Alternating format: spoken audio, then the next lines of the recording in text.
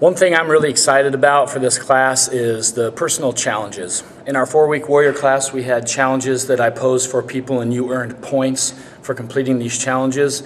The challenges that I'm going to show you here, this is just a few of them. I may come up with more, but these are not for points. These are not for rewards. This, the reward is simply you being able to do this.